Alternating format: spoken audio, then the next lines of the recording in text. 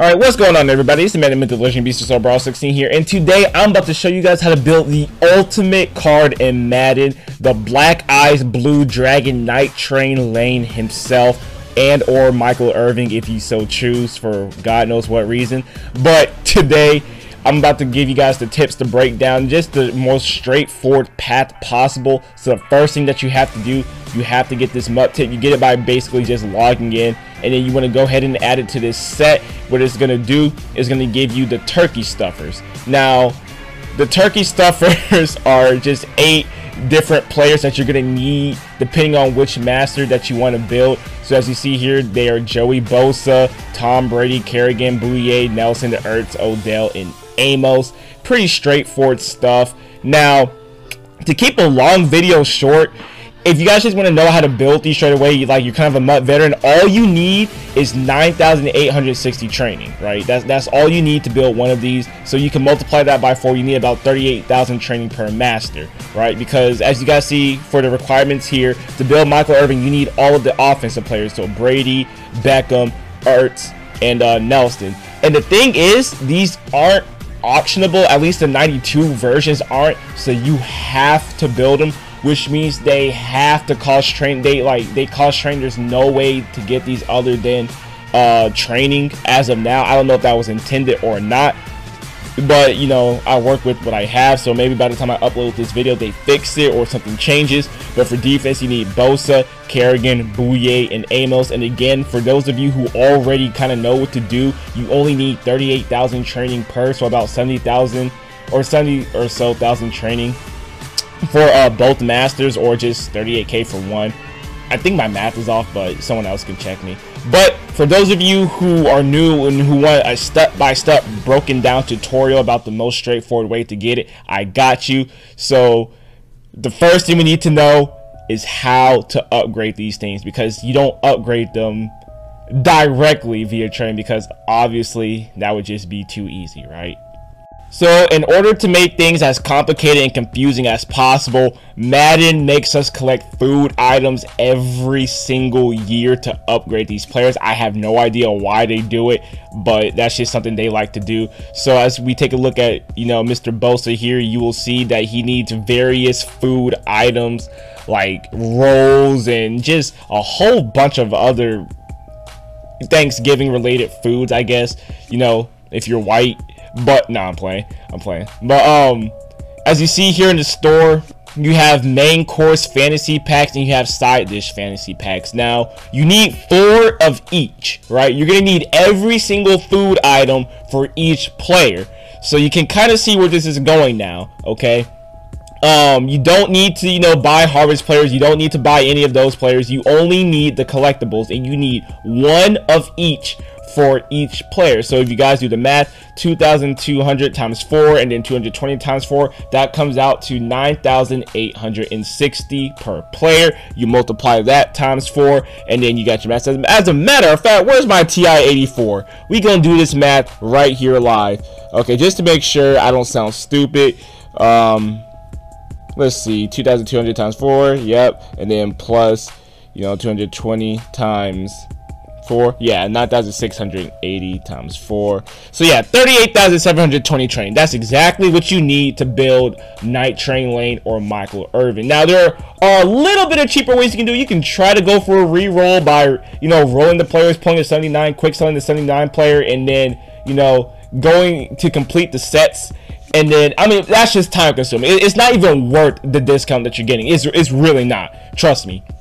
So obviously the next step is you need training. Now training you know depends on the value. You know i was able to get most of my 92s under like you know 200,000 or so before they rose.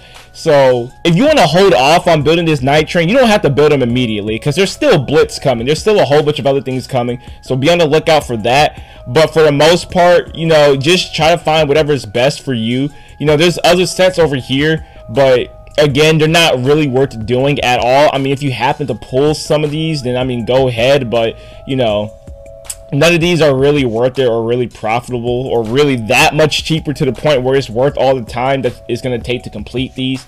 Not to mention there are solos you can do for free 92 so you can skip an entire player just by doing solos which I think is absolutely amazing. So that being said, you know, you come over here, you buy your collectibles and you have to buy so many collectibles, dog. It's absolutely insane. So just to show you guys what it looks like, you buy it for 2,200 training, and now you go in here, and then they're gonna give you, you know, your fantasy pack of choice. You know, make sure you keep track of what you're pulling. You know, I find it easier if you buy all the packs at once and then you know you you open them one at a time because you do have to have one of each and i guess you know it can get confusing at times i mean i'm not sure I almost messed up because like right here I was like, wait, which one did I pick? And then I, I I forgot. I didn't know if they switched the order or anything. It was also confusing. Luckily, they keep them in the same place. So once you buy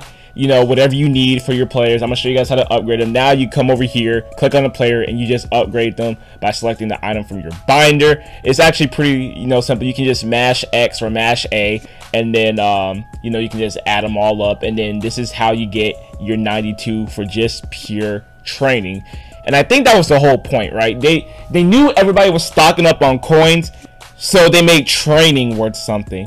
So essentially it costs a little bit more coins for these players than a normal 92 would because a 92 quick sells for 9,470 I believe and these cost 9,680 so it's a sneaky way to drain coins so I have to commend EA for thinking of a way to kind of like balance the market like that but it it kind of sucks. But at the same time it's not that big of a deal.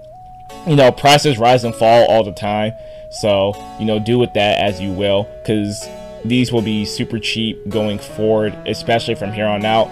But basically, that's how you build your 92 overall. So the best thing to do is just to get, you know, all your fantasy packs in one place. That's just a little tip that I recommend.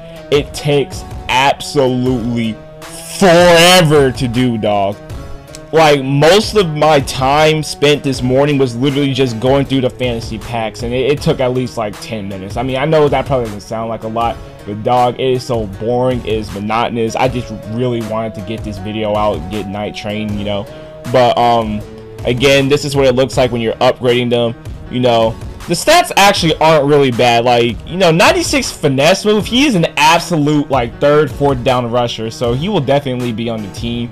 I might, you know, try him out with abilities. I don't know. I love Reggie White. Love his block shed. I hope he gets a new car really, really soon. AJ Bouye is probably the one who surprises me the most. The fact, like, he looks honestly kind of like a better Ramsey, and that is absolutely ridiculous to say. But, you know, stats, they kind of don't lie. Well, some of them do. But, you know, once you upgrade, you get his plus one for everything. I it becomes a little bit ambiguous. You know, I, I don't know. I was to, like, quick sell him or just wait to sell him off for a set. But I might actually give him a go. I might actually, you know, see how he shakes. And then uh, Kerrigan, I really don't have an interest in Kerrigan. I probably should have looked at his stats. But, I mean, I... I don't think anybody wants Ryan Kerrigan unless he's better than Von Miller. If, I mean, if he's better than Von Miller, then you know he can he can float on the team, which he probably is. But I care more about finesse move than I do anything. And it looks like he has 84 finesse moves, so I don't know if he'll be on the team or not. But um, yeah, you can't sell them. So again, that confirms it. So once you do all of that, finally, finally, you can go and add them one at a time because apparently it would be too hard to add all of them at the same time. But you add them one at a time, and then, only then, may you summon the almighty black-eyed blue dragon. And it is absolutely crazy. You guys saw how great his stats were in the beginning. You open up the fantasy pack, and now you are in the promised Neverland it is absolutely amazing. I love these sets. I love when you get all the cards back. Even if they're not, it doesn't bother me. You know, I think it's actually pretty cool. This is how every promo should be, you know, and I'm glad they're sticking with this method. As you can see here, his natural stats, absolutely amazing. 91 hit power, because I, I, don't think I showed this hit power. He cannot get Enforcer yet, but his in-game card will be able to get Enforcer. You see 94's quick sell for uh, 18,200 training. And then these are nats, so they do quick sell for half. But thank you guys for watching this video. Like, comment, subscribe if you liked this video. Found it helpful. Dislike if you did not. And I'll see you guys later. Peace out.